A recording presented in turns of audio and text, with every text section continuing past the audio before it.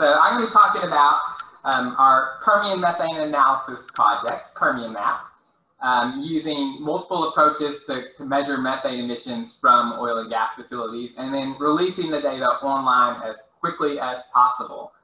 So this video, this image here is a, a drone shot of the University of Wyoming's uh, Mobile Research Laboratory um, doing some OTM 33A measurements in Texas. And so I'll go through this stuff really quickly since your group doesn't need it, but methane is very important. And methane and CO2 are important. And as we know, oil and gas is one of the major sources and often lots of cost-effective options for reducing emissions. Um, and EDF has a lot of principles we follow on our science, but particularly working with, with academics, a lot of times having academics be the PIs, using multiple methods, particularly so we can, we can validate approaches, um, seeking input from independent scientific experts. So we have, uh, for example, scientific advisory panel um, on, on this project, including Adam Brandt. Uh, transparency, so making sure the data is, is public, um, and then publishing paper, publishing results in peer-reviewed journals. And as I'll talk about a little bit, it, this project is slightly different because uh, it's emphasizing public data release rather than peer-reviewed journals. Um, yeah, the inventory. Uh, uh, we have Melissa on the call, so we know all about the inventory and just the, some of the empirical data showing it, it tends to underestimate emissions, particularly on the, the production side, um, while, while the mid and downstream are, are getting pretty close. Um, and that's likely due to kind of super emitters or, or emission sources that are very difficult to quantify with, with bottom-up approaches and often difficult even to assign them to a, a source category. Uh, so there's a lot of, of research questions in this project, but the three primary ones are, you know, what's the total methane emissions in the Permian, uh, particularly our study area, and then can we measure changes in emissions over time in 2020? Um, second is, is what's the performance of individual oil and gas companies? And particularly, can we come up with a, a statistically robust metric to compare operator performance? So things like gas production normalized emissions with uncertainty to say if one company is better than the other.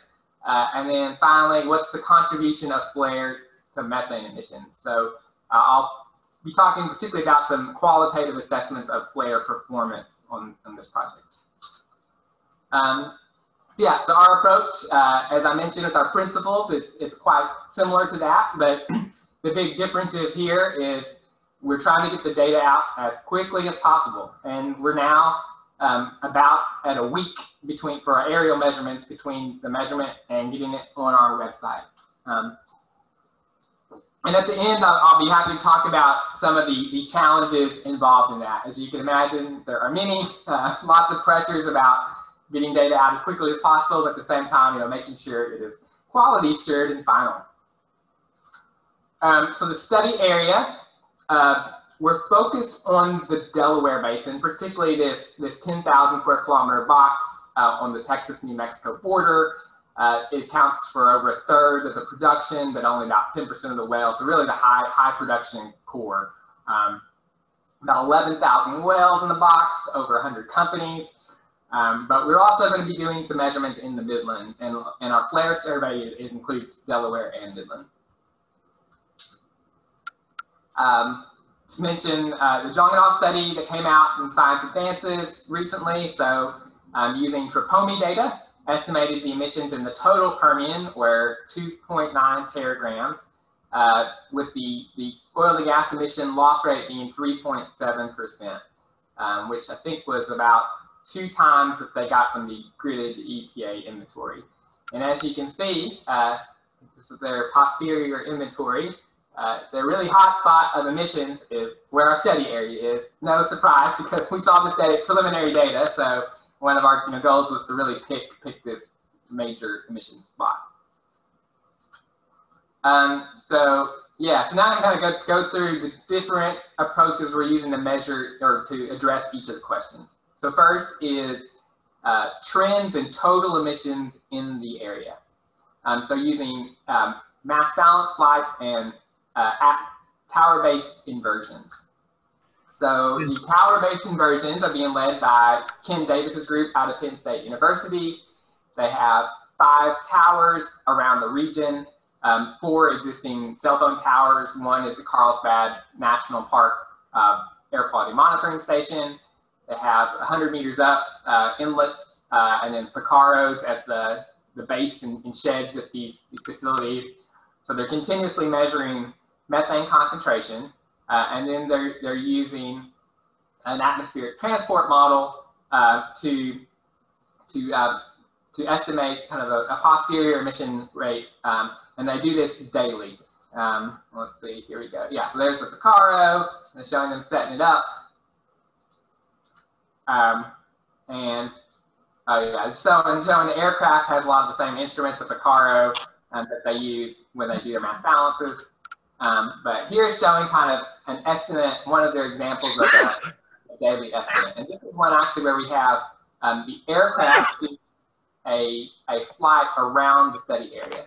Um, and this, um, so I know Zach Barkley from Penn State, he said this is the most beautiful mass balance he's ever seen. Um, it is pretty nice, I'll admit. You got, so we had west, really great westerly winds, huge enhancement on the eastern transect and not much on the upwind. So um, really great low uncertainty measurement ended up being 135,000 tons. That's 3.5% of gas production. So we're doing these combination, these, these large flights about once a month, and then getting daily estimates of, of emissions from Penn State. And uncertainty level, it's about about five to seven day average seems to be pretty good. That will account for, for any of the kind of day-to-day uncertainty in meteorology and can start seeing actual trends in emissions. Um, yeah, so th these are the slides I took out. So uh, we do have some initial trends data. Um, i have a, a paper. I'm in preparation for a, a kind of high profile journal. I'm hoping to submit uh, next Friday. I don't know if I'll make that or not, but very soon. Um, and let me, so I can't, I can't share the results, but uh, actually, we, as we get to the end, I'll, I'll walk y'all through some stuff which may, you maybe infer some results from it. Um, so now move on to the next question, which is comparing operator performance. So this was a really strong advocacy question we get, which, uh, as many of you know, there's tremendous interest in, in being able to, to kind of differentiate the emissions of different oil and gas streams. So you know, certifying natural gas is either like low methane gas or, or maybe some kind of like carbon tax, but there's a lot of interest in, in being able to do that. So we were going to see, can, can we do that in the Permian? So using two kinds of data, uh, we have site level measurements from University of Wyoming using uh, OTM 33A and Dana Caulton's um, drive-by transect method. Uh, and then have aerial, we're calling cluster measurements, which are small mass balances, typically about a, a one to two kilometer radius circle. Um, and they can get about, usually it's somewhere like five to maybe a dozen wells um, in each of these clusters. But that's really about as tight of a circle as they can fly in their Mooney aircraft. Um, so um, talk about kind of how, how we're using that data thing. Um, yeah, so this is just OTM 33A. Y'all probably know basic it's fitting kind of it's an inverse Gaussian approach um, as they drive downwind. So um, so we actually um, we hired University of Wyoming to do some measurements in 2018, and Anna Robertson has a paper that is uh, currently in final stage of review. Hopefully, will be published very very soon.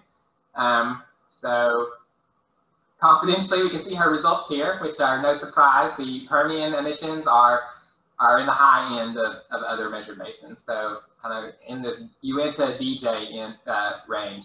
So substantially higher than a lot of the other basins. Um, and yeah, showing you know, the, the, value of getting these site level emissions. So um, they also have a they have an infrared camera, um, so they can look at kind of the source of emissions and um, and they also have a, a PTR TOF mass spec that continuously measures speciated VOCs, including benzene compounds, so they can, um, so uh, so they have all, they can eventually get kind of VOC OTM measurements. Uh, and also, um, I mean, they, they drove around hundreds of miles with this continuous VOC monitor. So uh, really interesting data set that may be useful for things like health assessments in the future. Um, so now to the aircraft data. So this is uh, scientific aviation's um, what they call it, Gauss's law mass balance approach. So, so basically how it works is they're doing this, this cylinder around the area, target area, and they, they measure from as low as they can to uh, basically where to either the boundary layer or whatever they can no longer see enhancement from the plume. So the idea is to get the full kind of cross section of, of a plume. Uh, here is an example of a beautiful plume, uh, not in the Permian because they never look this nice. But if you have you know one point source, you can see boom, there's a plume. You can do kind of compare up integrated upwind and downwind concentrations and get the flux.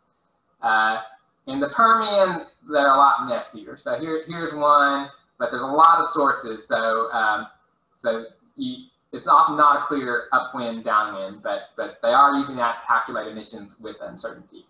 Um, but seeing that due to the high density of sources in the region, it, it does make it challenging. And kind of detection limit wise, it's highly variable depending on kind of meteorological conditions and how close sources are. So occasionally they get down to about five kilograms per hour. Other times it seems more like it's over 100 to 500 kilograms per hour, depending detection limit, just depending on kind of how, how their ability is to resolve upwind. Uh, they do have a FLIR camera that they're using from the Mooney. So uh, McKenzie basically sticks the camera out the window of the plane as they're going 200 miles per hour. And uh, doesn't work often, but when they see really big emissions like this unlit flare, they can get it. Um, I'll admit, it's very hard to watch the videos as they're spiraling that fast. Um, causes me to have a headache, but it is a pretty neat way of, of identifying, quickly identifying large sources. Uh, so yeah, so we we completed what we're calling survey one. So so basically, how this yeah oh shit oh go. So how this works is that we let me go to the next slide. This will make more sense. So so what we're doing is so here's the study area. And what we're calling a survey is basically kind of a systematic survey of the entire 100 by 100 box in a way that's representative. Um, survey one was a combination of kind of randomly selected areas and then these site clusters. So we, we looked at um, most recent data on well ownership and then created these clusters of single operator sites. Um, so uh, Scientific Aviation completed that uh, a little over a month ago. Uh, and then now we've moved on to a second survey, re-going over the area, but this time focusing a lot more on single operator clusters. And we'll be doing a lot of repeat clusters, but as you can imagine, there's a lot of ownership changes in the Permian, so um, these often change quite a bit, so it's a pretty dynamic process. Um, but overall, it works pretty well um, and they're, they're able to measure about, uh, use about five of these measured areas in a flight day. Uh, so we're developing operator metrics. They're probably going to be uh, loss rates like gas production normalized emissions. Uh, one really big challenge is, is the uncertainty. So how to calculate an uncertainty and what exactly that uncertainty means. You know, what is our data representative of? Is it the study area? Is it the full Permian? Being clear on that. And, and then as many of y'all know, non-scientists never, you know, they completely ignore uncertainty. So that could be really risky if we put some, you know, Exxon better than BP or whatever, and, and then, you know, or, or, Exxon, you know, they're not significantly different, and the people are going to ignore that. So we want to be very careful that that people only focus on significant differences and not not just large differences that are due to the small sample sizes we have. Um, so yeah, so now to go in the flare performance survey. Um, so we hired Leak Surveys Incorporated, uh, helicopter-based OGI team to, um, to look at 300 flare locations in both the Delaware and Midland. Uh, and that we randomly selected these flares from the VIIRS um, heat detect. So we used kind of you know, radiant heat detections and then got all these flares and had them bit them in uh, February, March, and June. Um, and they'll be going out a fourth time later this fall. And, and we're told to basically go to the site um, and then assess the flare's performance. So was it lit? Was it and operating normally? Was it lit, but they saw problems like smoke or hydrocarbon slipping? Um, or was it unlit and venting or inactive? So now I'll show an example of an unlit and venting flare at a processing plant.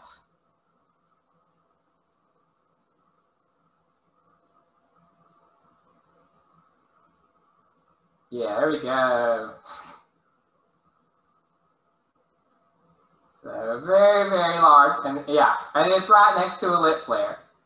Um, so I showed this as both an example of a humongous emission source, and we did tell the team to, you know, immediately let people know if they saw, if they thought anything was an imminent hazard. So this was the only time they detected an imminent hazard, because you know, that if that plume is over five percent methane hitting that lit flare, that could be a disaster. So, um, so they did land the helicopter and they they they told the facility manager. Um, unfortunately, they got yelled at. The guy wasn't very appreciative of, of them preventing an explosion. Um, but the next day, they they did it was fixed. Um, so. Um, it just shows that yeah, these are not only huge methane sources, that but they're potentially a catastrophic danger. Did they just fly through the plume? They may have, yeah. I mean, I would have landed sooner than that. That's, looks pretty scary to me, but yes. Um, but yeah, they said they landed a safe distance and then just flagged, flagged them down. But um, I'll, I'll, notice the site, the same site, Earthworks has a lot of IR videos from several months, uh, including the same flare. So even though they fixed it the next day, it seems like it's a recurring problem. Um, so hopefully they'll, they'll have more permanent solution. Um, so yeah, so the results. So uh, we had amazingly consistent results all three surveys. So um, about 11% of the flares were malfunctioning um, each survey, and was about 4 to 6% around were unlit and venting.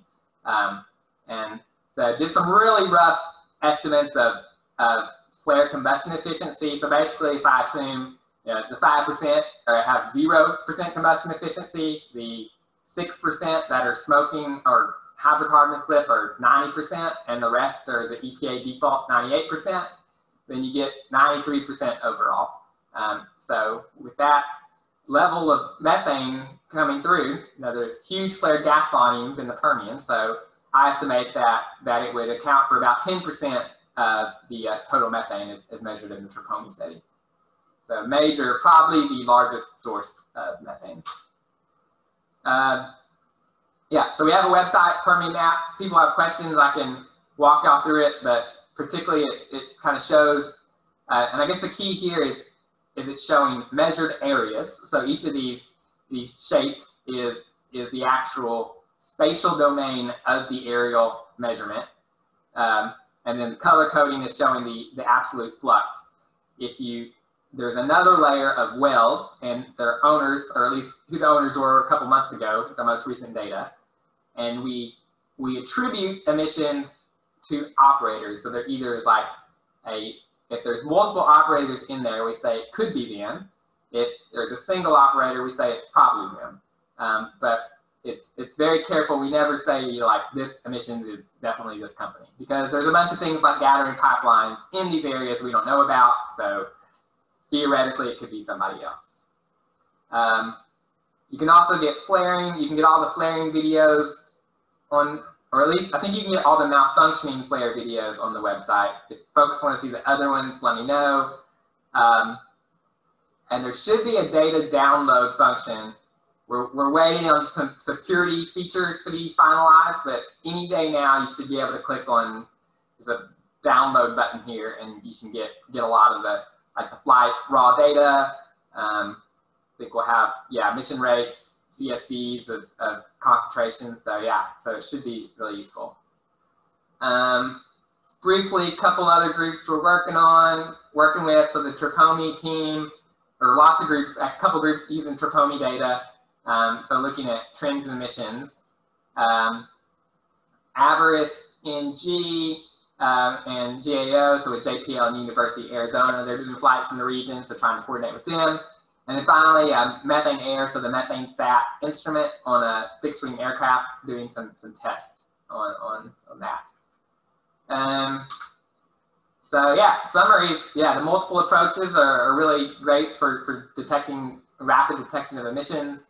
Uh, operator performance, uh, this is for our funders, so it was a little more optimistic. So I'll, I'll give you the, the, you know, the realistic answer is it's really hard. So um, just due to the, the skewed nature of the emission rates, uh, to do something like this, I think to really constrain the uncertainty, you're going to have to have lots of measurements and and I think you probably have to use an approach like like AVIRIS-NG that can like a remote sensing approach that can get a lot more. You know, we can get hundreds hundreds of measurements a day in order to do this efficiently. Um, but but at least you know this, this was allowing us to test test the approach and, and maybe do some estimates later of you know, how many measurements would you need a day in order to do this well. Um, yeah, flares are a big deal. The performance is atrocious. Um, and so definitely is a big source of, of mitigation and that. Um, and the data has been pretty valuable for companies. So both, we have had companies respond. So some of them have uh, got usefulness from this, this data. But again, I'll be honest to say like, even the week lag time is not good enough. So, and, and a lot of times I don't even know if a day lag time is good enough. So my, my theory is a lot of these emission sources may be asking minutes to hours. Um, and there, there, there are things like overpressurization problems um, and they come and go and, and the operators don't even know about them. So um, it's, it's critical to, to at least get it soon enough that they can look at other data sources and maybe see if, if they would even be able to detect it, which I think a lot of times are not. Um, so yeah, so that's the basic summary. Um, I guess I can give a little a little thing about the trends data. I don't think I have the flaring data here, but if, if y'all have seen the kind of VIIRS estimates of flared gas volumes, there's been a really large decrease during the COVID oil price crash, um, over four four times decrease. Uh, it appears to be temporary, um, so uh, and is already starting to go back up.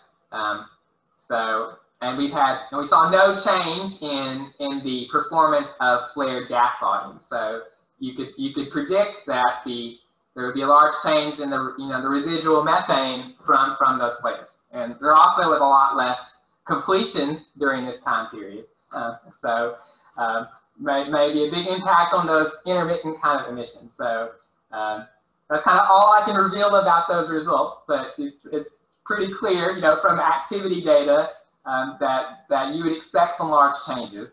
Um, but, but the big thing is, is, you know, these changes appear to be temporary and really only occurred when the oil prices were, you know, like $20 a barrel or less. So, so I, I think what kind of, there's indications um, that really the Permian Basin is, is over capacity. And a lot of these issues are due to, there's just too much gas, there's too much pressure, and there's all sorts of, of problems. And and really the, the best thing companies could do is just slow down the development of wells, even slightly, so to, to get under get under this capacity threshold. And that probably be a very cheap way of, of reducing emissions. Um, so I'll stop there and happy to take any questions.